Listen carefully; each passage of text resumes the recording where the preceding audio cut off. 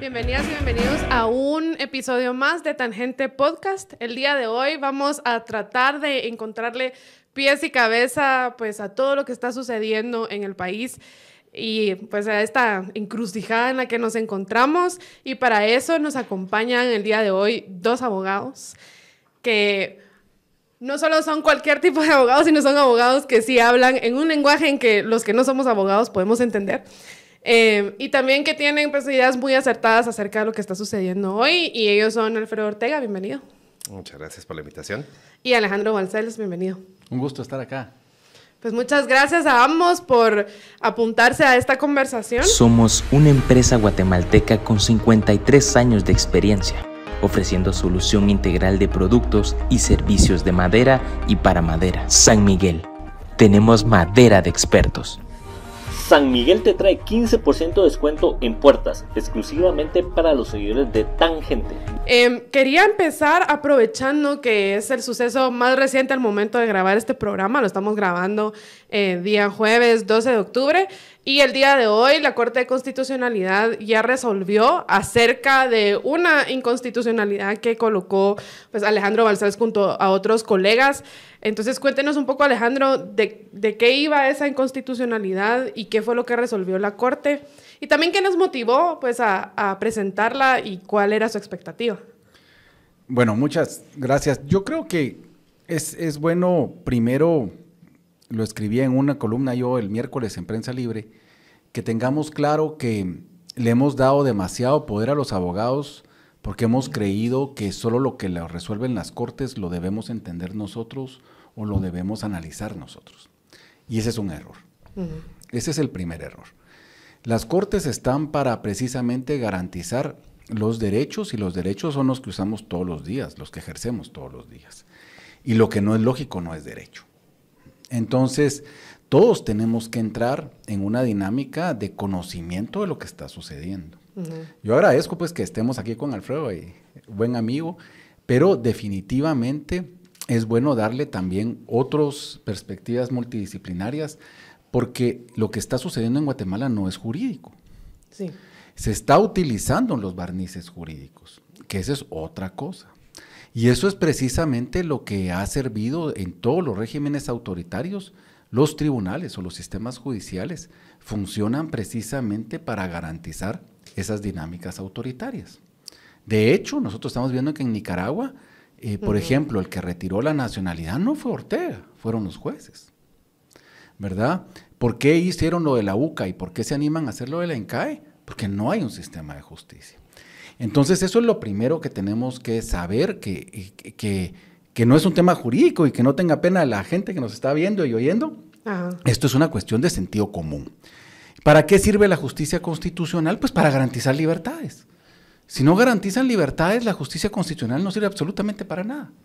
Porque es el último valladar para garantizar libertades. Eso lo tenemos que tener claro, ese es el objeto de la justicia constitucional. Todo lo demás es adorno. Uh -huh. ¿Verdad? Son palabras, son conceptos que podemos nosotros los abogados pues eh, eh, entrar en explicaciones, pero al ciudadano medio lo que le importa es que la justicia constitucional garantiza sus libertades. Y precisamente cuando existen cambios de criterio de tribunales constitucionales que se dan en todo el mundo, es porque se garantizan en mejor forma las libertades. Uh -huh. Aquí en Guatemala estamos viendo a la inversa. Sí. Los cambios de criterio sirven para restringir libertades. Y hemos visto una magistratura que es esta, que creo que en ningún fallo le ha puesto un límite al poder, uh -huh. que es una cosa extraordinaria, porque a, se alegaba a la magistratura anterior porque a Jimmy Morales le decía que no, porque al Congreso le decía que no, que después venía que esto ya maté al principio, etcétera, pero le ponían coto al poder, o sea, para sí. eso están. Estos están como el Procurador de Derechos Humanos, que no es más que un avalista de los ejercicios del poder. Entonces, dicho esto, y establecido los conceptos, porque tenemos que hablar primero en abstracto, es que la Corte de Constitucionalidad sirve para garantizar libertades y por eso se presentó esta inconstitucionalidad contra un artículo de una ley ordinaria que no tiene nada que ver en sí con el caso Semilla, pero por uh -huh. supuesto tendría efectos con el caso Semilla, que permite a los jueces suspender o cancelar las personalidades jurídicas mientras dura un proceso. Y eso es absurdo. Sí. Eso, y eso es, mire, es terrible porque, por ejemplo, un medio de comunicación como ustedes, mañana puede recibir una notificación diciendo que ya no existen. Ay, no. Y entonces En mañana... fin que se le da chicharrón a boca. porque- Exactamente. no solo como costó. Por eso, cuesta un montón, pero como ustedes tocan temas que no les gusta el poder, pueden estar susceptibles a eso. Y como la Corte de Constitucionalidad hay una resolución más peligrosa, que es la de la semana pasada, la que resolvió la cuestión de competencia que solicitó el Tribunal Supremo Electoral con el organismo judicial, donde enterró la Corte de Constitucionalidad los conceptos fundamentales del constitucionalismo. Uno es que es la supremacía constitucional y otro es que la constitución es rígida. ¿Qué quiere decir rígida? Que cuesta más que una ley ordinaria reformarla. Entonces, con base en esto, estamos en una situación bastante crítica y creo que debemos hacer un llamado a todo el mundo para que le entre a conocer los fallos de la Corte de Constitucionalidad. Porque eh, la jurisprudencia sirve para guiar. La jurisprudencia no es más que los criterios que se han sostenido, ¿no? En 37 años. Entonces, sirven para guiar y saber más o menos la, la- predictibilidad de los datos, de los fallos. Pero esta corte no, esta corte está fallando totalmente fuera de los cánones que ha sostenido durante 37 años. Y eso fuera lógico, si fuera para preservar libertades, pero es para restringirlas. Y por eso me extraña mucho de los magistrados que están en reelecciones ya ahí, ¿verdad? Que ya, ya tienen su casa ahí adentro casi. Porque definitivamente están cambiando los criterios que ellos mismos han sostenido en otras magistraturas. O sea, no están siendo consistentes. No están siendo consistentes. Y además, los tribunales constitucionales les encanta, ¿verdad? Hacer foros y hacer congresos y hacer eh, ponencias sobre la legítima efe- efectividad de los derechos. Y vemos que en esas ponencias también se está contradiciendo lo que están fallando acá.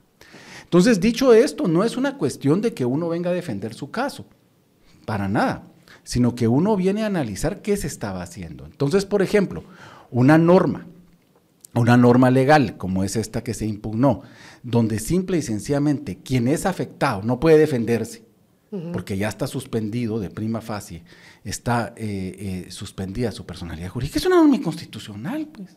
Sí.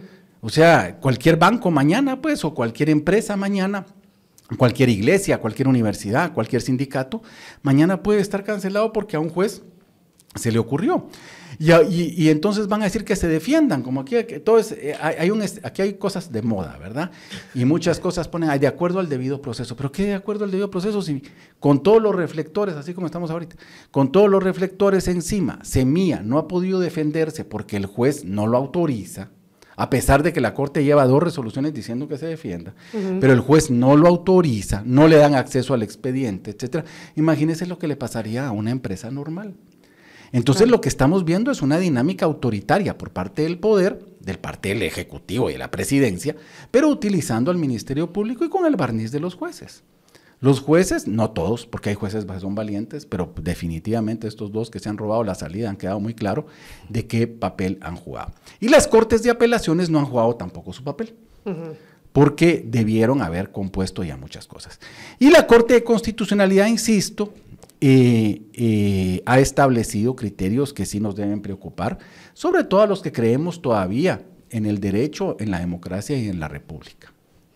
Es decir, digamos, si logro resumir todo, lo que nos está diciendo es que ahorita las cortes no están cumpliendo con ser ese freno al poder, digamos.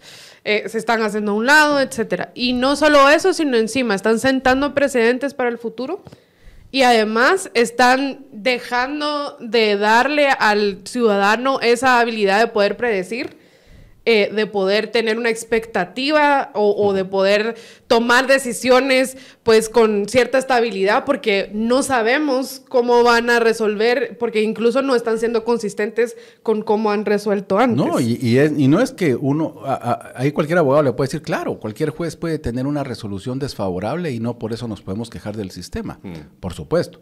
Pero el tema es que no hay correctivos que funcionen. Entonces el propio sistema está suicidándose o está funcionando con el poder.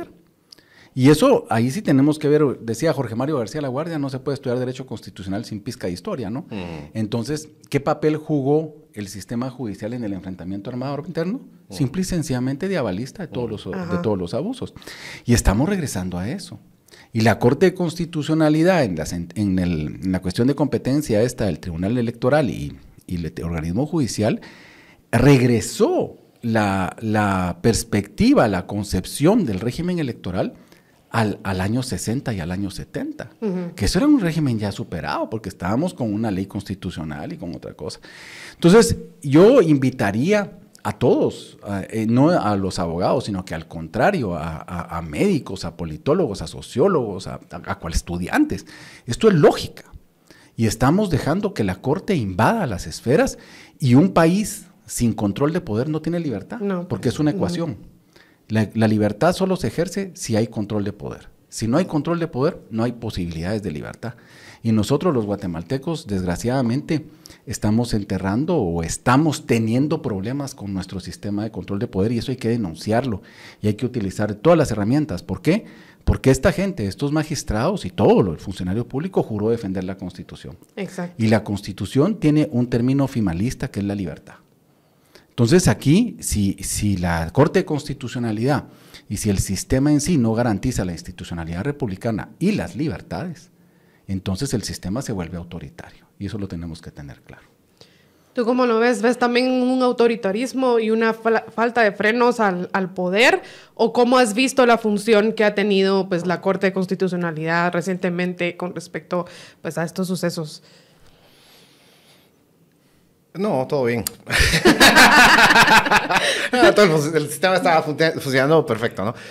Bueno, quizás sí está funcionando re bien para un grupo de personas, ¿no? Pero voy a comenzar, eh, escuchaba eh, a Alejandro hablar y me recordaba mucho de uno de los extractos del informe eh, preliminar de la misión de observación electoral de la Organización de Estados Americanos. Y voy a permitirme, con el permiso de ustedes, de leer porque es, es una cosa maravillosa. Dice, la misión de observación de la, de la Organización de Estados Americanos observó que la comunicación oficial por parte de instancias judiciales en torno a las resoluciones y el texto mismo de los fallos utilizaba un lenguaje innecesariamente denso y confuso, de forma que no siempre se entendía con claridad cuál era la decisión judicial y qué implicaciones tenía para el proceso electoral, dando pie a múltiples interpretaciones por parte de actores políticos y juristas.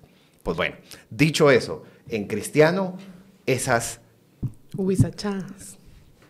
también, yo iba a decir, estas resoluciones eh, no sirven no dicen mucho, no, no dicen nada. digamos, esta práctica de esconderse detrás de tecnicismos, detrás de jerga legal, para no decir absolutamente nada, me parece que es francamente eh, eh, vergonzoso, digamos. Em, y es prueba de ello, decisión tras decisión de la Corte de Constitucionalidad, eh, me parece que mantiene la sensación de incertidumbre precisamente porque esa es la intención. No mm. toman una decisión concreta. Ponerle freno al poder han tenido oportunidad desde julio.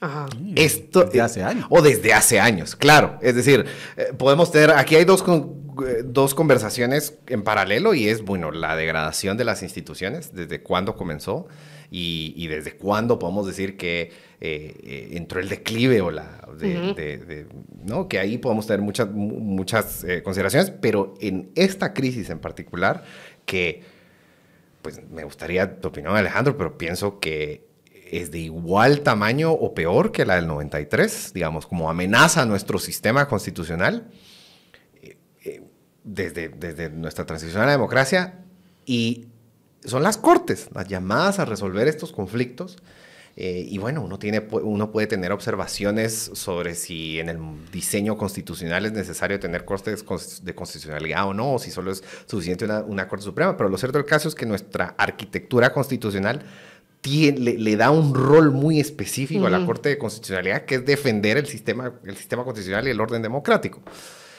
Y eso no, no, está sucediendo. No está sucediendo. ¿Tú se lo atribuyes a maldad o a ineptitud o un poquito de cada una.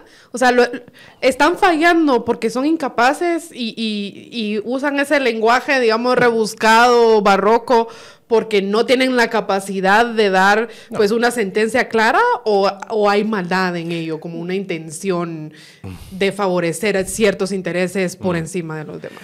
Bueno, eh, creo, siguiendo Alejandro, esto no es jurídico. Es, digamos, en respuesta como a tu pregunta esto no es jurídico. Es decir, los canales para resolver esta crisis son varios. Van desde que la fiscal general renuncie, ¿no? Que, requiere voluntad política. Van desde que la Corte de Constitucionalidad otorgue un amparo en contra de la fiscal general desde hace, o de en contra de la FESI o en contra del juez.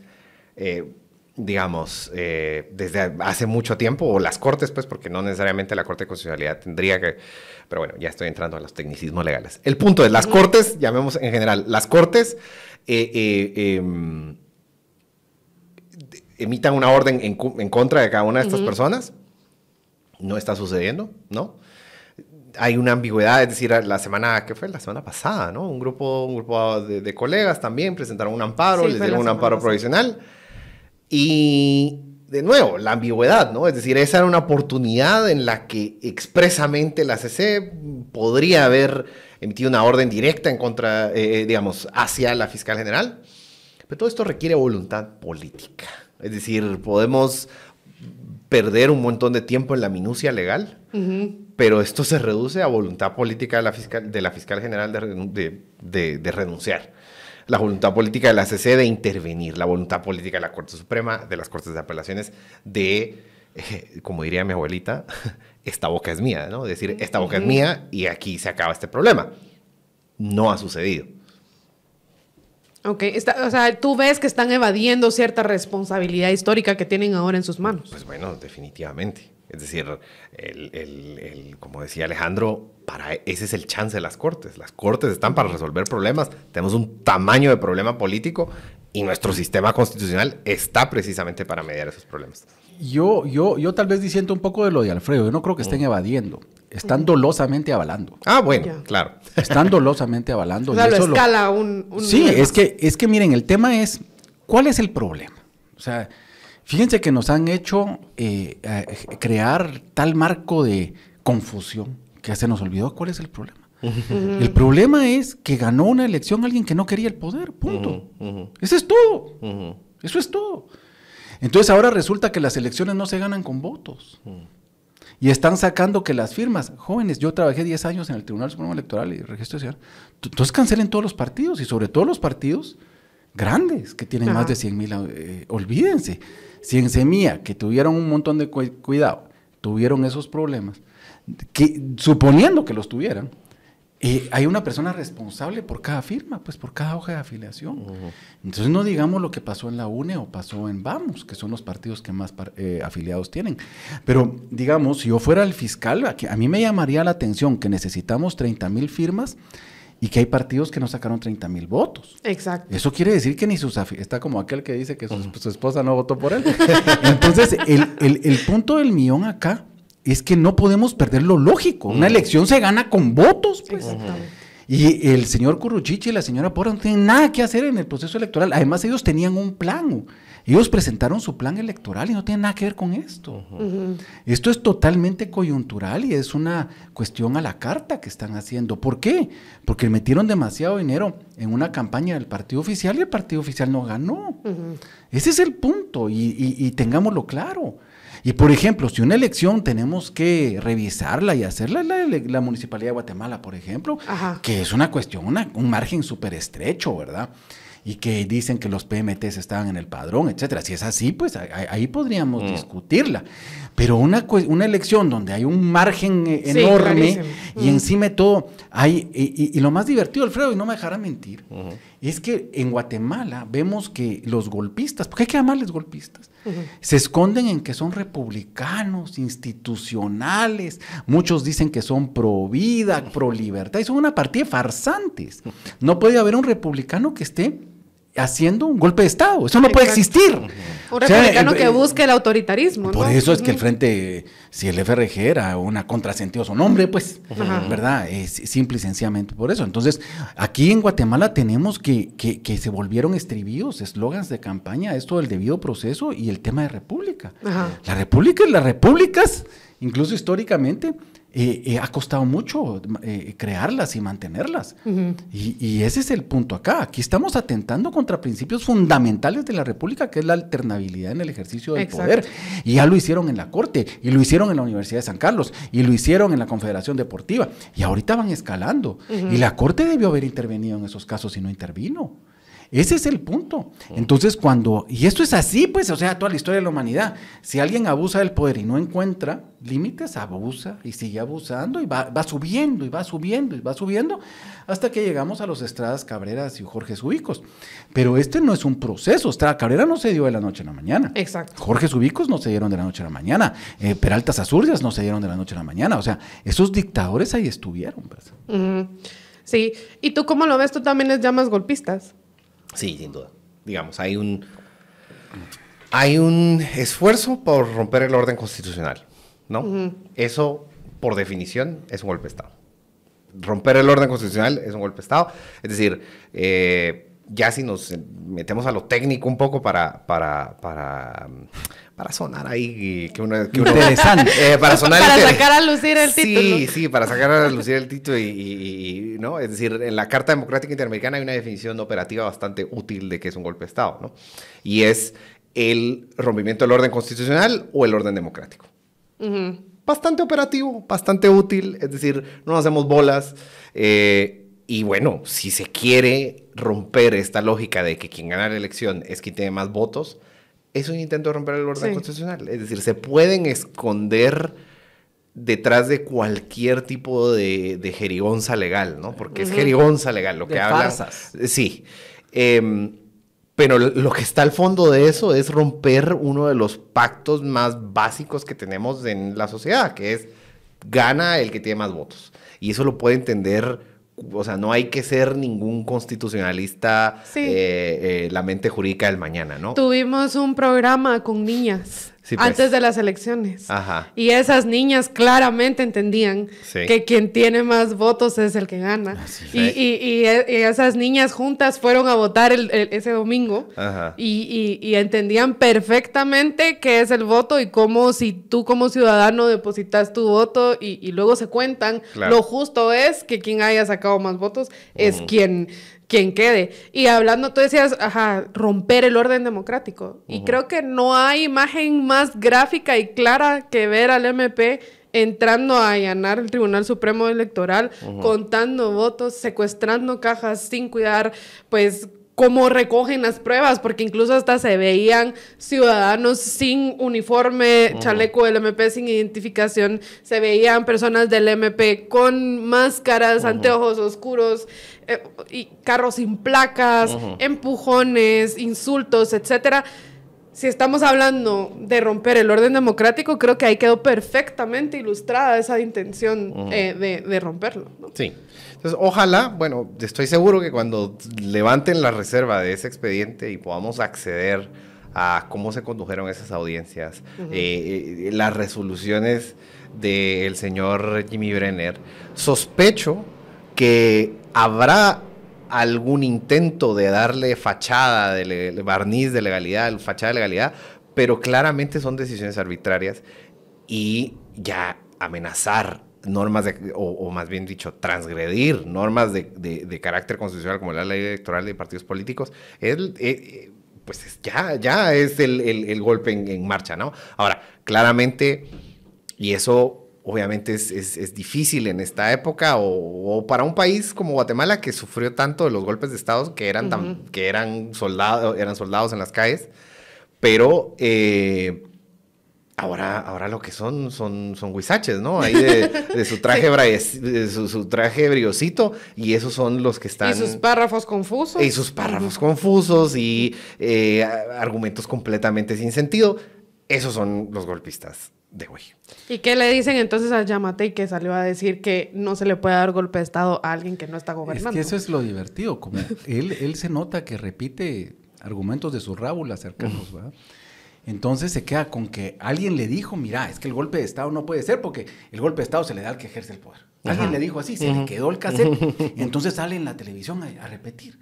cuando precisamente el esquema de golpe de Estado es mucho más amplio, porque no lo estamos hablando, o sea, no hay, en, el Código Penal no hay un golpe de Estado. Pues. No, eso, no, es una definición legal. definición completamente distinta. O sea, ese hay que entenderlo en, términos coloquiales, en términos de, teoría política, hay que entenderlos en términos de poder.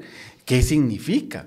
Que, entonces nos vamos a ir a, las nimiedades, ¿verdad? De cómo son las tipificaciones. Y una muerte, por ejemplo, una, cosa tan sencilla, una, muerte puede ser un homicidio, puede ser un asesinato, puede haber un homicidio culposo, puede haber un homicidio preteritencional, puede... pero lo cierto es que murió. Me explico. Ahí murió. El punto es que el presidente Yamate a mí sí me, me extraña muchísimo porque él era eh, fíjense ustedes, en los años, eh, eh, él, fue el director de logística de la Asamblea Constituyente y de la elección de Cerezo y de la primera elección municipal de, medio periodo. Él era el director de la, de la unidad coordinadora del proceso electoral, se llamaba. Su jefe era don Arturo Gerbruger. O sea, conoce al Tribunal Supremo Electoral por dentro, pues como para que se meta esto.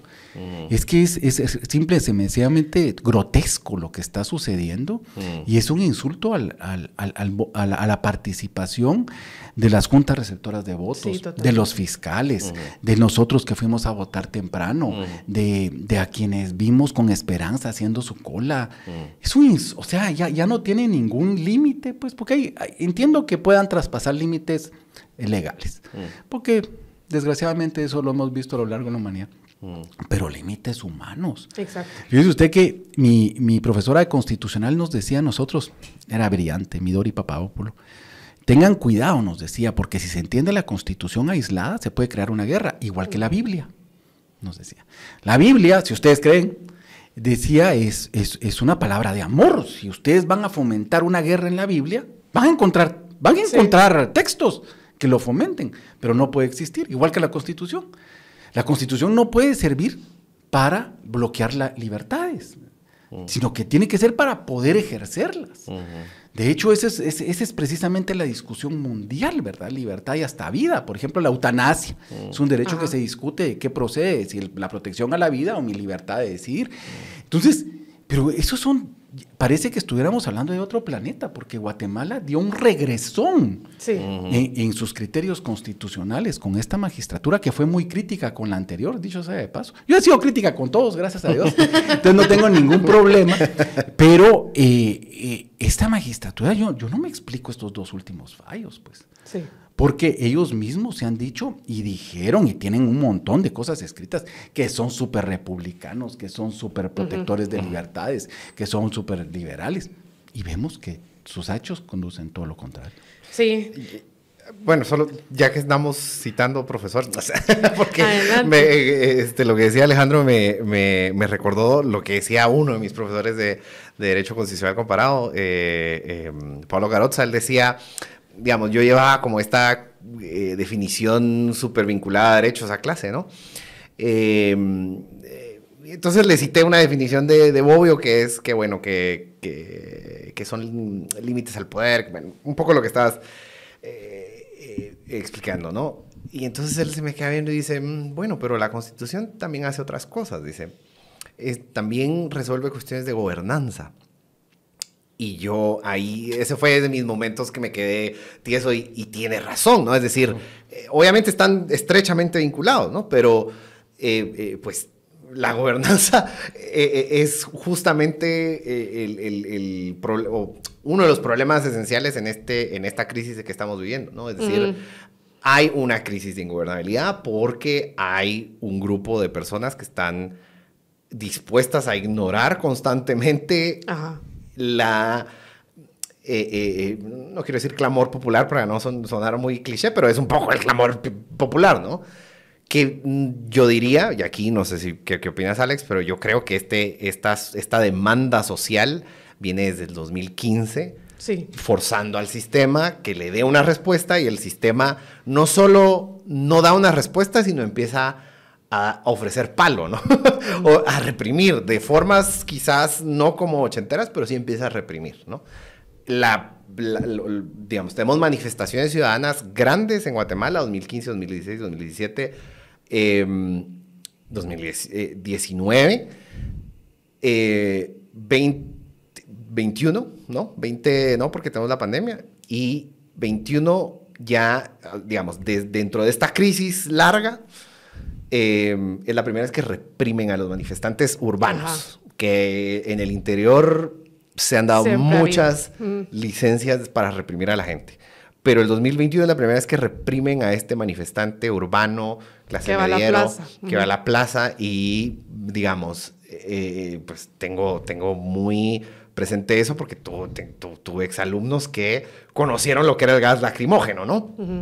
Eh, y 2022 no tenemos manifestaciones porque hubo represión, creo, esa es mi teoría. Sí. Pero 2023 tenemos ya no a la plaza, sino un hartazgo de, bueno, ok, ¿no? Medidas, de hecho, mucho más... Eh, eh, creativas. Creativas, orgánicas, generalizadas, pero con una sensación de, bueno, lo de la plaza no funcionó, entonces habrá, que, habrá que hacer algo más, ¿no? Em, y esta crisis de gobernabilidad son las instituciones las encargadas de hacer algo al respecto. Para eso nos organizamos como Estado. Ninguna institución está haciendo nada. Por el contrario, tenemos resoluciones mm, crípticas, súper abstractas. Es decir, una de estas resoluciones me da risa porque decía, eh, los jueces tienen que eh, cumplir el debido proceso. Pues, pues sí, pero el problema es que no lo están haciendo, ¿no? Entonces diga, diga algo al respecto. Resolver responsable. responsablemente. El Ministerio Público actuar dentro de sus competencias. O sea, para leer la ley, pues uno va a leer la ley, pero uno va a las cortes a resolver el problema, ¿no? Y las cortes no están resolviendo el problema. Antes de seguir, voy a hacer una pequeña pausa porque tenemos que dar gracias a nuestro patrocinador Paris Smart. Eh, pues ya saben, si están atorados en un paro y, pues quieren bajar a tomarse un traguito, antes tómense su Parismart para que eh, no sufra pues los efectos de la resaca o, no sufra pues su hígado tampoco, aunque sean unos poquitos tragos, una pastillita antes se encuentra en farmacias y supermercados y gracias a Parismart por ser nuestro patrocinador. Pero hablemos quizá, o, bueno, no sé, Alejandro, si usted quería decir algo antes, pero si no, yo quería movernos a estas manifestaciones que hemos observado en los últimos días. A hoy creo que ya son 11 días, ¿no? De un paro que viene, pues, hay ciertos, hay, gente que le llama bloqueos, hay gente que le llama paro, pero se la ciudadanía ha tomado ciertas intersecciones eh, del país, rutas importantes. Eh, ha habido diferentes formas de manifestar eh, la protesta, ¿no? Tanto desde consignas, chamuscas, baile, clases de todo, hasta de yoga, creo yo que vi uno en la mañana. Em, y, yo coincido contigo que fue muy orgánico. Yo tuve la oportunidad de ir al MP la semana pasada, uno de los días, no recuerdo cuál. Pero logré ir al MP a, pues a ver, ¿no? Ir a ver qué estaba pasando. Y me parece bien injusto que haya una narrativa ahí diciendo que esto es gente que les está pagando y que son acarreados y que no saben a qué van. Y cuando uno va y observa, no solo mira que es totalmente orgánico y espontáneo porque hay de todo. O sea, no, no está uniformado, sino que hay de todo. Yo vi desde hermanas de la caridad hasta autoridades indígenas, jóvenes universitarios, periodistas, trabajadoras del hogar, meseras de... Eh, una señora que tomó el micrófono era una mesera de un comedor, había sindicalistas, o sea, había de todo, de verdad. Y consignas de todo, pero todas bien orientadas hacia exigir la renuncia de Curruchicha Consuelo Porras y del juez Jimmy Brenner. No, del juez... Eh, Orellana, gracias. Y, o sea, todo el mundo bien Pero también que renuncie Jimmy Brenner. bien clara su consigna eh, de, que se respete la voluntad popular en las urnas y que no se resuelvan las cortes y lo, lo que ya se decidió en las urnas. Eh, Incluso gente que, todo el mundo dice, ay, esta persona ni sabe a qué fue desacarreado, porque eh, dentro de su clasismo no piensan que una persona pues de escasos recursos o, que, o que tiene más difícil pues ganarse la vida sabe lo que está haciendo, pero sí que saben lo que están haciendo. Toman el micrófono se expresan y la tienen clarísima. Es impresionante. Y en sus consignas lo ves y, en la forma de organizarse lo ves. La otra cosa es que, ajá, Yamate decía que, ay, sí, ya tenemos identificado quién está financiando. Bueno, entonces explíqueme, señor, por qué en esas carpas uno ve las donaciones que van y no son donaciones uniformes. Ves distinto tipo de papel de baño, toallas, colchas, comida, eh, ves desde comida rápida hasta comida preparada en casa, pues tamalitos, atol, etcétera. No se ve como algo que alguien esté donando de una forma organizada y financiada. Se ve como verdadero apoyo orgánico que la gente ha ido a dejar pues porque creen la causa que, estas personas están defendiendo. Yo creería también que esto generó, y, no sé si ustedes tienen grupos de WhatsApp o de esos tipos, claro que hay. una discusión de racismo y de clasismo eh, bien clara. Y, sobre todo vemos aquí a los que nos gusta un poquito ver un poquito más para atrás de la historia, el centralismo capitalino. es El centralismo capitalino es una peste que no hemos superado desde el tiempo de la colonia. Y ese es el tema acá. Hemos visto los bloqueos ah, como, no, como son fuera, que se queden, ¿verdad? Vinieron acá y aquí fue el problema, y no digamos cuando tocaron Cayalá o la zona 15. Entonces, el punto, yo no estoy justificando bloqueos ni estoy justificando actos violentos, pero sí esa narrativa de negarle liderazgo a los pueblos indígenas, que la tiene el propio presidente de la República, que no reconoció el liderazgo de los pueblos indígenas, sino que se dirige a Bernardo Arevalo cuando él no es el convocante. Pues. Exacto. Precisamente aquí a lo que vamos es que esto es tan legítimo porque no es el partido político que ganó, sino que es la gente que fue a votar por su alcalde, pues. Sí. Y, ese es el punto acá. Y eso es lo que tenemos que redescubrir nosotros. Yo lo que siento con, esto, que es totalmente orgánico, aquí he visto yo, bueno, en la familia ha habido apoyos y se ha ido a dejar ahí, amigos han ido a dejar comida y hemos visto a otros amigos dejando. Los, los médicos le han dado una lección de derecho al gremio de abogados enormes. El gremio de abogados, el colegio de abogados y el SECON son de vergüenza los dos. Entonces el punto acá que tenemos que rescatar es que esto vino a modificar el concepto de protesta porque fue una protesta nacional y eso nunca lo habíamos visto.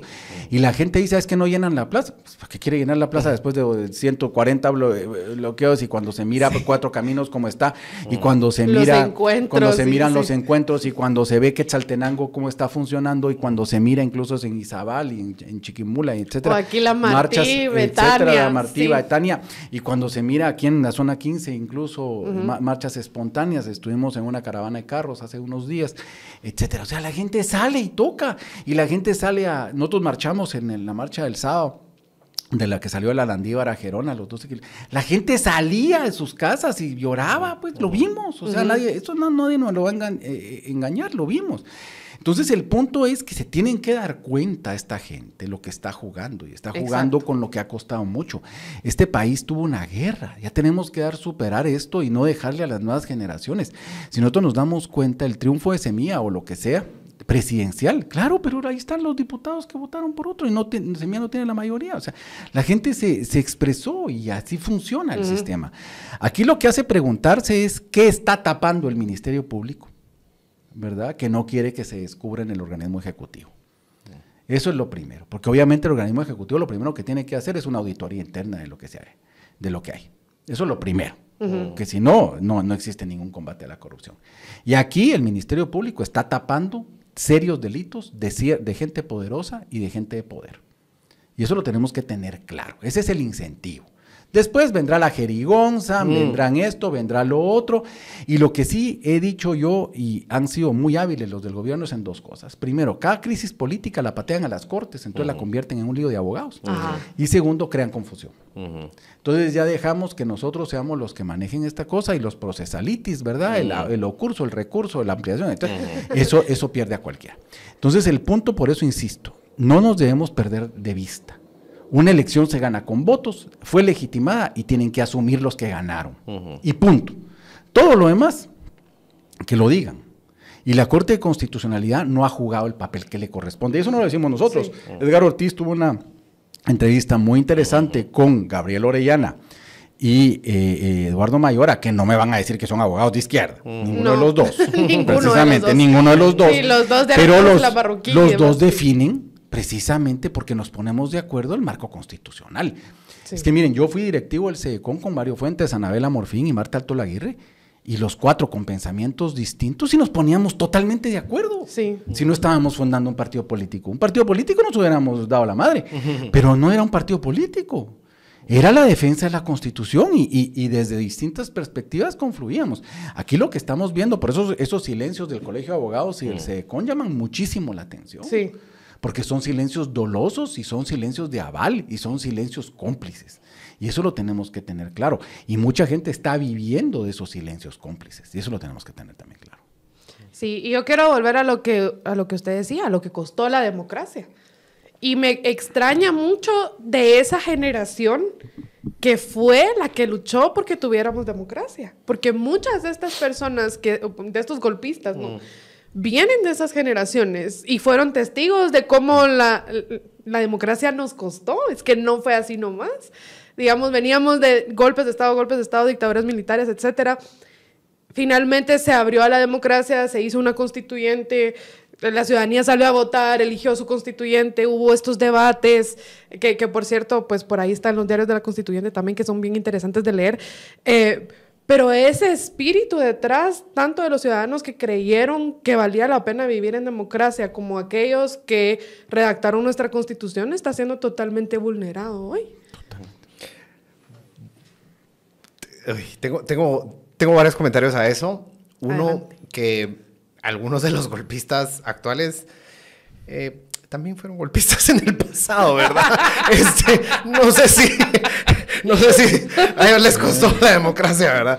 Este... Vinicio Cerezo enfrentó tres golpes de Estado. Claro. Y, gente que dio esos golpes de Estado fue los que fundaron el partido de Jimmy Morales y, algunos el partido de gobierno. Sí. sí. O sea, tú decís, esas malas mañas no se les quita así de fácil. Sí, bueno, dicen en el pueblo de, de mi mamá, este, ¿qué? El gallina que come huevo, aunque... le, que le quemen el pico. Aunque le quemen pico, ¿no? Entonces, mm, digamos, este, hay quienes que es un poco más inercia esto, ¿no? De, bueno, los golpes de Estado es algo que eran buenos en el pasado, pues a lo mejor ahora, ¿verdad? eso por un lado. Eh, por otro lado, a la cámara, eh, a, producción, un poco de ayuda acá. Em, desde 1907 a 1966, en Latinoamérica Hubo 105 golpes de Estado, según la cuenta de eh, Aníbal Pérez Liñán, que es un profesor de la Universidad de Notre Dame. Em, pero, digamos, esta pendiente que ven es em, el incremento de democracias en Latinoamérica durante el siglo XX. Y una de las cosas que él encuentra es de que a partir de 1990 esa tendencia de golpes de Estado en, Latinoamérica eh, se reduce un montón. Según la cuenta de él, eh, digamos, del, de 1990 para el 2007. Eran tres golpes. Agreguémosle lo de Bolivia, agreguémosle lo de Venezuela en el 2017. Es decir, podríamos decir que en Latinoamérica todavía estamos a menos, menos de 10 golpes de Estado, dependiendo cómo los queramos contar, eh, desde 1990. Y eso no quiere decir que no haya inestabilidad. Eso no quiere decir que no hayan amenazas al orden democrático. La cuestión es que estas amenazas se han, han mutado. Y han mutado porque, pues bueno, yo creo en la región, bueno, no, no, yo creo que no. Aquí hay, eh, yo creo que hay muchas personas en la región que entienden que la democracia o perder la democracia no le conviene absolutamente a nadie, ¿no? Y eso, eh, eh, digamos, ya aquí entro con mi, con mi sombrerito de, de, ciencia política, ¿no? Aunque me va a regañar Edgar eh, Pérez Aiza. no, que bueno, esto es producto de la tercera ola de democratización, donde pues la región pasa a, a, entrar a regímenes democráticos y se dan cuenta, ven para atrás y dicen, esto es demasiado costoso en términos de sangre en términos económicos, en términos políticos, en términos de lo que ustedes quieran, no, estar, no vivir en democracia. Y eso conlleva como las reformas de la Carta de la OEA, donde se introduce la facultad de la OEA de suspender a un Estado de la Organización de Estados Americanos si es que se rompe eh, el orden constitucional bajo la definición que, platicamos. Después llega, digamos, se crea la Carta Democrática, porque hay un reconocimiento que la democracia es el mínimo para tener estas discusiones eh, democráticas, ¿no? Pero el piso es la democracia. Em, entonces, bueno, estas nuevas amenazas al orden democrático constitucional son innovaciones, pero yo creo que de, de, gente que está acostumbrada a, los golpes, ¿no? Lo que sucede es que hay un autor, que, autor clásico del derecho constitucional, Ferdinand Lassalle, que él eh, lo que nos enseña es precisamente que los problemas constitucionales no son problemas de derecho, sino son problemas de poder. Y eso lo tenemos que tener claro. Entonces, dicho esto, se cae en, procesos como los que estamos, en lo que se llama el pseudo-constitucionalismo. ¿Qué es el pseudo-constitucionalismo? Son aquellos regímenes que aparentemente tienen un marco constitucional, pero por dentro están podridos.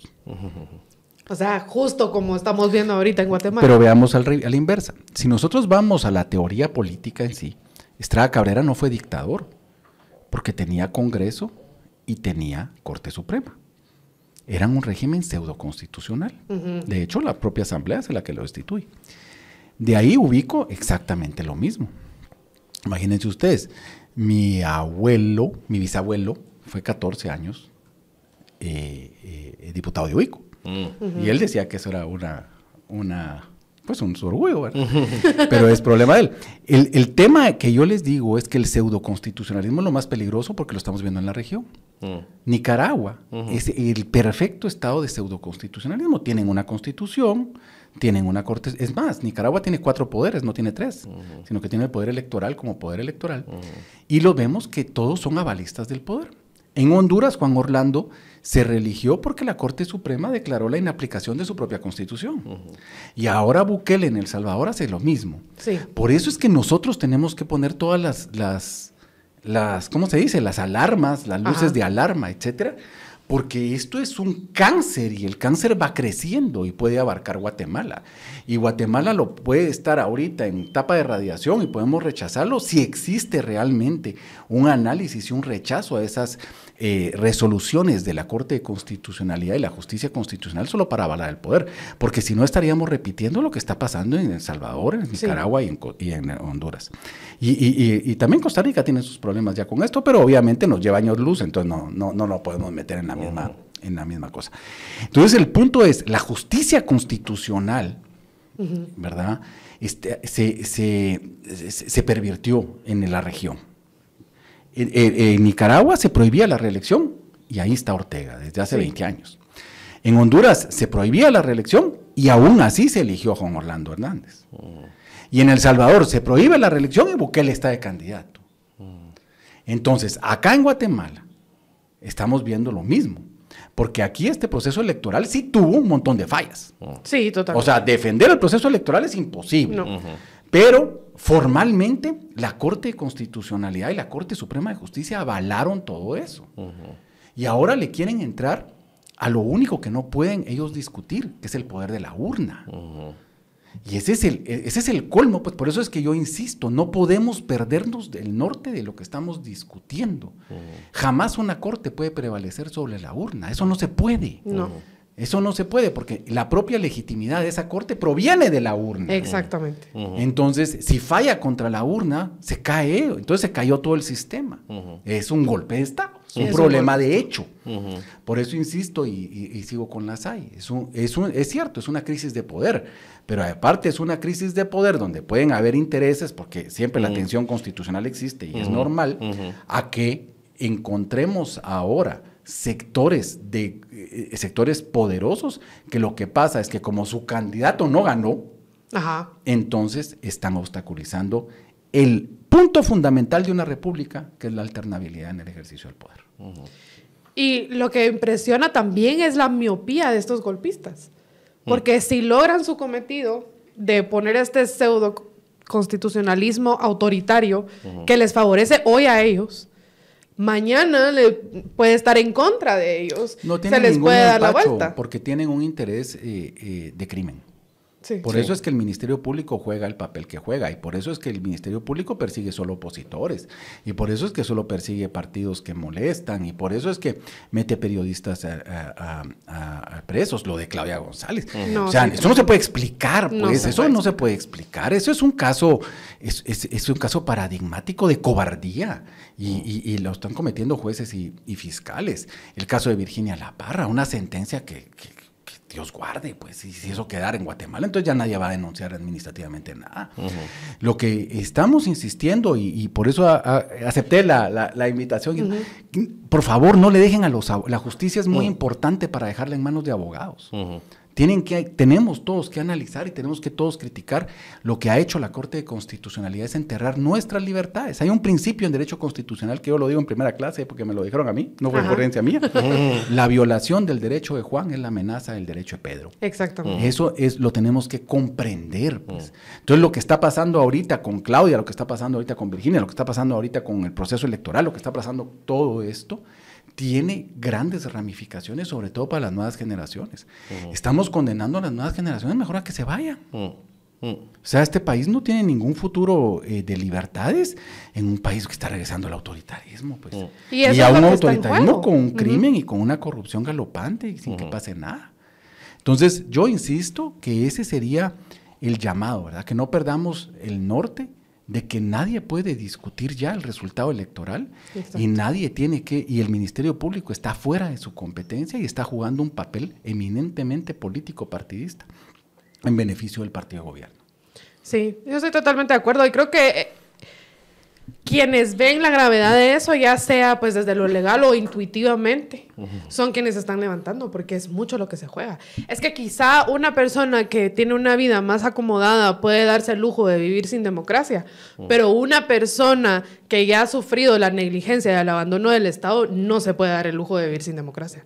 O sea, de verdad, porque a, a la hora de ir al sector justicia, pues quizá una persona más acomodada puede pues por ahí poner eh, sus cosas en orden. No, pero mira lo que pasó en Nicaragua, cerraron la organización empresarial. Pues. Exacto. Cerraron el INCAE. Y eso es lo que viene. Cerraron el INCAE. Cerraron las universidades, porque encima todo el conocimiento es enemigo del poder. El poder ese es un poder estúpido, pues. Entonces, obviamente la, inteligencia, el, mundo universitario no, no, les conviene. Entonces, ese es el punto. Sí. Y por eso nos tenemos que ver en el caso nicaragüense mucho. Totalmente. Y, de hecho, mucha gente lo está comentando así. Ahora que muchos videos se han hecho virales, pues de las formas de manifestación que hay, etcétera, que, quiera que no conmueven. Y, uno puede ver en comentarios de TikTok la misma gente de Nicaragua diciendo que ojalá y nosotros hubiéramos hecho lo que están haciendo ustedes ahora y que no, no, debemos claudicar, porque es que el siguiente paso es ese. Sí, yo vi uno que decía, ojalá y ustedes sí lo logren, decía. si logran lo que ustedes, lo que nosotros no pudimos. Este, yo, o sea, sobre, sobre eso tengo como un par de observaciones em, en cuanto a, lo intuitivo, intuitivo que es, ¿no? Porque efectivamente podemos como darle forma legal, forma doctrinaria, qué sé yo. Pero uno de los manifestantes de la Betania, de hecho, que lo puso tan claro, dijo, eh, miren, si la señora renuncia, en 15 minutos le limpiamos acá. Una demanda muy clara, muy tangible, muy, ¿no? Y eso quizás es como lo, la fatal arrogancia, diría un profesor, ex profesor mío, de, de algunos de los actores de veto de, dentro de nuestro sistema, ¿no? Y es que creen que si se lo logran complejizar lo suficiente con la jerigonza legal, con la profesalitis, van a dormir a la gente que percibe una amenaza a esto tan elemental de la urna, ¿no? Es decir, fueron 124 mil voluntarios. 124 mil. No, es que los 124 mil son los oficiales del tribunal. Pero esos son males, periodistas, fiscales, observadores, colaboradores. O sea, estás hablando que, medio millón de personas de que se metieron si habían mesas con 20 fiscales. Sí. sí.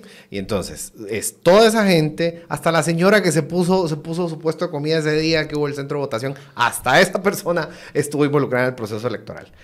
Y les, digamos, tratar de, de, de decirle a, este, a esta masa crítica de cientos de miles de personas en todo el país que su trabajo no valió para nada, que lo que vieron con sus ojos, que lo que contaron con sus manos, no, eh, no vale. Además de ser un insulto, además de ser ofensivo, es que eh, es imposible, es imposible por muy, por muy eh, compleja que sea la resolución de la Corte de Constitucionalidad o del juez, no, no desdice esto tan elemental como ustedes anoche contó una serie de votos y ganó una persona. La, urna, ¿no? Irse en contra de la urna. Entonces, digamos, y quizás la, otra cosa, solo para abonar a... y, eso es lo, simpático que, tenemos los, los que tratamos de darle forma académica a todo esto, es que estamos hablando de lo mismo, pero le damos otra, otra, otro nombre.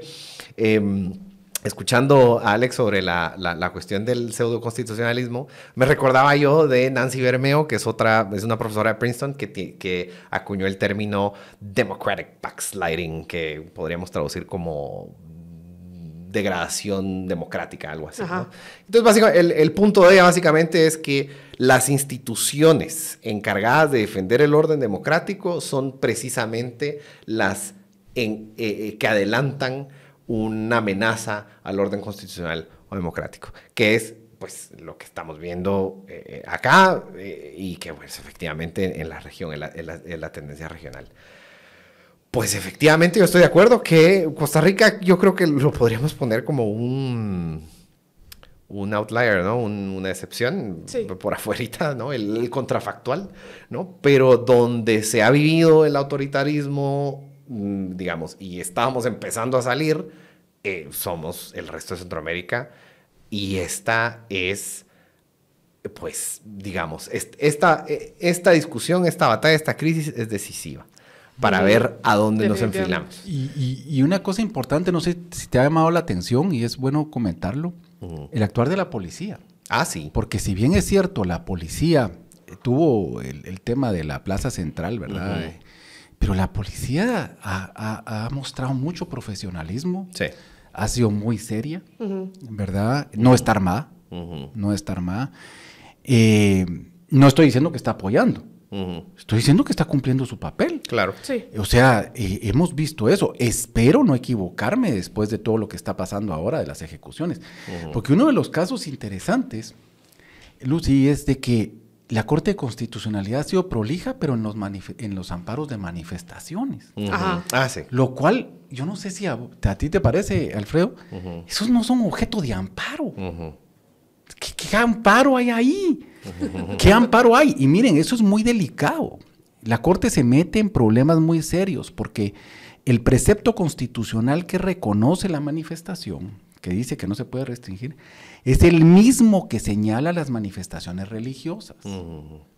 Y obviamente todas las manifestaciones religiosas interrumpen el tránsito. Entonces tienen que tener mucho cuidado.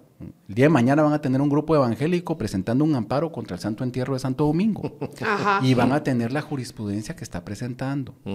Tengan, eh, eh, yo no sé qué están haciendo los magistrados, porque se están metiendo en un mundo muy complicado. Lo que dice la Constitución es que tiene que haber una ley que regule eso. Y esa ley no ha salido en 37 años. Entonces ese es el punto fundamental acá. Estamos viendo magistrados que están actuando de acuerdo a la coyuntura y eso tampoco es bueno. No. Un magistrado puede ser nombrado por quien sea, pero le tiene que decir que no si el derecho dice que no. O sea, no tiene que tener agradecimiento hacia nadie. Y ese es uno de los puntos aquí que, me llama la atención, pero si no quería dejar de mencionar, en términos generales, por supuesto, espero no equivocarme, lo que yo pude constatar, lo que yo he podido ver, es una policía que ha sido respetuosa. Yo he estado en Gerona ya como cuatro o cinco veces, ahí está, está tranquila, están tranquilos, están tranquilos no, no, no, no, hay, no, no hay mayor cosa. Y eso que Gerona, yo no sé cuánta gente pudo haber llegado, porque es un flujo de gente Tremendo. Y además ahora que está Santo Domingo, ¿verdad? Entonces van a ver a la Virgen y después se van a Gerona. el, recorrido. ¿Verdad? Que así hicimos nosotros. Es, es, uno de los puntos que hay. Entonces yo sí, insisto que dejen a las válvulas de la democracia funcionar. Totalmente. Que dejen a las válvulas de la democracia funcionar Y a mí me llama la atención que tanto doctor en Derecho, Afro, Eh, no. tanto doctor en Derecho, Ah, bueno. que está Sí. contra el Derecho. Sí. Ah, bueno, es sí. impresionante. Hay un Sí. montón de Tanto doctores. doctores. en Derecho. Sí. Porque ahora hay unos doctorados. Yo Sí. soy licenciado, yo no tengo ni maestría, pues, Sí, pero ves. pues yo cuando los veo y digo después, ¿qué están haciendo en defensa de esto? Me preocupa. Porque eso quiere decir entonces que dónde está el nivel académico y sobre todo la vinculación hacia lo que estamos estudiando. Sí. ¿verdad? Hay, hay dos cosas, ay, perdón, Dale. solo co- con esto de, de- de la policía, porque creo que, es- que es interesante eh, ver hacia atrás, ¿no? De justo eh, lo que dice Alex es, esto puede ser un legado de, que- o sea, que ha costado, ¿no? Que el chip de la democracia le entre a las fuerzas de seguridad y que ha sido un proceso que tuvo serios retrocesos, hay que decirlo, en tiempos de Jimmy Morales, cuando destituyeron a un montón de, de- de oficiales de carrera dentro de la PNC. Eh, pero aún así, pues la, la PNC poco a poco es un cuerpo profesional eh, eh, de, de personas de carrera y quizás eso es lo que ha eh, mitigado, ¿no? Esas, esas, esos apetitos autoritarios quizás de, las, de las autoridades de, de- de turno. Y, digamos, ya pensando un poco a largo plazo, ¿no? No quedándonos en la, en la coyuntura, creo que Alex trae a colación un, un problema de política pública que tenemos y que hay que afrontarlo, y es, eh, pues no me aparto, o sea, qué bueno que hay muchos colegas, pero la cuestión es que eh, pues los colegas tienen que tener la formación adecuada porque ser abogado es una gran responsabilidad. Sí. Es una gran responsabilidad. Eh, ejercer esta profesión es, es- es muy peligroso incluso, ¿no? Con las manos equivocadas. Em, y bueno, eh, me, me- me pongo a pensar mucho en Nicaragua, efectivamente, porque cuando mm, yo trabajé con, la, con los opositores de Nicaragua en, en- en alguna época de mi vida. Yo también. Y- en ah, las sí. misiones de observación. Ah, sí, pues. Y, y- y- y- y puedo decir que las elecciones en Nicaragua eran muy buenas.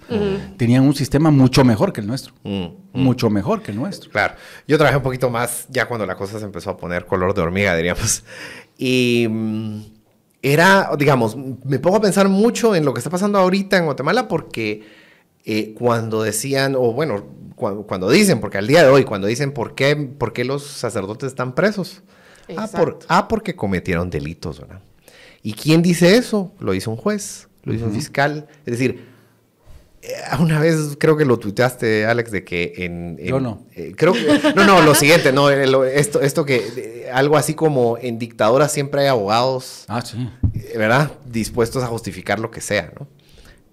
Y ese es como el, el- el riesgo de tener estas fábricas de... Bueno, de- Estrada Cabrera era abogado. Sí, pues. Efectivamente, ¿no? Entonces siempre va a haber gente dispuesta a justificar lo que sea. En Nicaragua hay jueces, fiscales y abogados dispuestos a justificar lo que sea. Ahora, yo sí quiero rescatar también un poquito de lo que hablábamos. Está bien el juez Orellana, está bien el juez Brenner, que por supuesto es- son indefendibles. Pero ¿por qué el sistema está podrido? Porque las salas de apelaciones tampoco juegan el papel. Claro. Porque todo pasa por las salas. Todo pasa por Entonces, que tengamos un juez abusivo, bueno, está bien. Pero que la sala lo avale, eso ya es otra cosa. Y después, aquí en Guatemala existe el amparo judicial. Eso quiere decir que vía el amparo se conoce por la Corte Suprema y eventualmente llega a la Corte de Constitucionalidad. Entonces, estamos hablando de que si existe una resolución que viola un derecho fundamental cometida por un juez, esa es apelable, o sea, es impugnable, lo conoce una sala de apelaciones compuesta por tres magistrados. Y eso es ahí donde el sistema debería funcionar. O sea, la constitución está para que funcione el sistema solito, pues. Sí. Y lo que pasa es que yo, yo más le tacho a las salas de apelaciones que a estos jueces. Claro, es un, es un problema tener a estos jueces abusivos ahí, pero las salas de apelaciones son los que debieron haber arreglado. Yo, me, me- yo la verdad sí me preocupé muchísimo cuando yo vi dos exhibiciones personales. Una, la primera exhibición, una, incluso yo la interpuse, contra eh, eh, la detención de Juan Francisco Solórzano Fopa. Que yo cuando llegué a tribunales, el pobre estaba ahí, en ahí estaba en la carceleta, lo fui a saludar y le digo, mira cómo pasó. Fíjate que sin orden, entonces presenté la exhibición y la resolvieron 3 a 2. O la resolvieron, perdón, eran 13 magistrados, no me acuerdo cómo quedó, pero hubo tres votos razonados. 10 a 3. Pero vamos al hecho de que no reconocer que había sido capturado sin orden de juez. Mm. O sea, eso, eso quedó porque en el informe de la policía se dijo. Mm. La policía informó eso. Mm. Y consta en el expediente y la Corte Suprema lo avaló. Eso es una cosa importante. Y la otra, una, esa no la presenté yo, sino que la presentó un abogado en eh, favor de, Juan Luis Font para su cuando, cuando estaba precisamente en Guatemala y se declara sin lugar y después incluso porque se inventaron ahora que procede un recurso especial contra la exhibición personal, lo curso. Pero eso no vamos a hablar. El tema es que el punto es que se declara también sin lugar habiendo tanto elemento porque es contra las libertades de ejercicio. O sea, hay que entender la libertad en, sentido, amplio. No es una cuestión de que usted está bien, entonces ya no pasa nada. Eh, y cuando yo vi eso, y eso fue hace sus, ¿qué? Dos años, sí me preocupé un montón del sistema y no eh, hemos visto que ha ido empeorando. Esto hay que ponerle correctivos. Ahora, yo regreso a, un tema fundamental y es la, Corte Suprema de, de, Edmundo Vázquez en el año 86 decía, la justicia es un derecho, exígela. Si los jueces no ven que se exige justicia, entonces los jueces se vuelven medio dioses, porque creen que dictan la palabra de Dios, porque nadie les está diciendo que no. Y eso es muy peligroso, porque también son poderes. Por eso es que el sistema está hecho para que puedan haber correctivos todo el tiempo. Sí. Sí, y bueno, ya nos estamos quedando sin tiempo, pero antes de cerrar, yo sí quiero decir que es importante reconocer que esta población merece vivir en democracia. Mm. Yo creo que intuitivamente o sin conocer el derecho, la gente sí se puede dar cuenta cuando hay una autoridad que no tiene un freno o a la que no se le está frenando mm. y entonces decide poner la voz de alarma y manifestar su descontento al respecto y, y por eso es que no hay que claudicar, mm. porque el poder necesita controles, porque este pueblo merece vivir en democracia y porque toca rescatar la poca democracia que tenemos, luego cómo ha habido ese retroceso institucional y, esa tendencia hacia el autoritarismo, hacia poderes alineados eh, y demás. Y bueno, no sé si alguno de los dos quisiera eh, añadir algo a la conclusión. Yo tal vez solo reconocer que si bien es cierto, parece catarsis el programa, pero también hay esperanza. Sí, totalmente. Hay mucha esperanza en la juventud, en la gente de edad. Sí. Hubo una marcha de, tercera edad, no sé si la vieron ustedes ayer. O sea, es todos los sectores sociales que están diciéndole al gobierno, mire, usted está solo, respete, respete la regla mínima, porque él llegó, nadie duda que Alejandro Yamatei ganó con sus votos. Haya votado uno por él o no, eso no importa, él ganó y se le respetó. Y además tuvo, no había otro gobierno que haya manejado más plata que él, ni siquiera para el proceso de paz. Entonces, estos manejaron, vaya lo que hicieron, ahí está. Quedó en un tercer lugar, vaya que crean que es apoyo popular para él, está bien, que lo crean. El punto específico es que sí, tenemos que dar una señal de esperanza porque la gente lo que quiere es paz, quiere desarrollo. Este país, la novena economía de América Latina, con los índices sociales, compitiendo con Haití. Es un pecado, pues. Entonces, tenemos un potencial enorme, queremos vivir en paz y para vivir en paz, lo esencial, lo esencial es que se respeten las reglas mínimas del juego. Sí. ¿Verdad? Y que, esta señora entienda que esto se, está diciendo que no está respetando las reglas mínimas de, y que deje su religión. Muy ajeno, que dicen que ella está en una cruzada religiosa. Pues que, es problema de ella, pues. Sí. ¿Verdad? Es problema de ella. Eso no es un tema de Estado. Mm. Quizás solo eh, para terminar rescataría lo que dijo Aclamasek en la... Ayer, Creo que fue ayer, ¿verdad? Sí, en el episodio de ayer. La gran, o sea, que me pareció muy acertado el comentario. Él decía, 2015 fue anticorrupción, 2023 es prodemocracia. es, esta es la última... Em, eh, la última línea de defensa.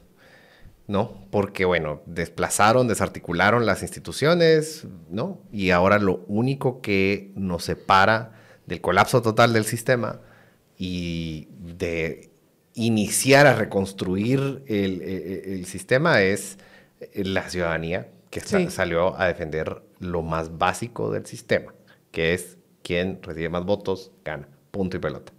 Em, entonces creo que reconociendo ese momento histórico, pues hay que, bueno, primero a la, población, pues eso, ver con esperanza este momento.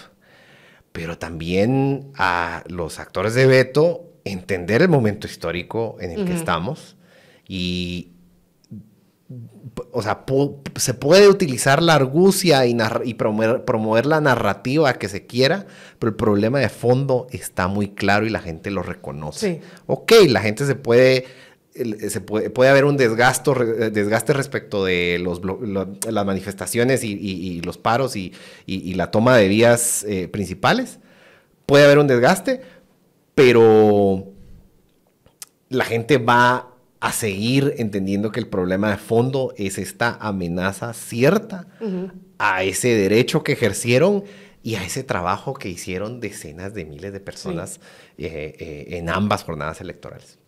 Pues muchas gracias a ambos y gracias a la audiencia por siempre permitirnos acompañarles.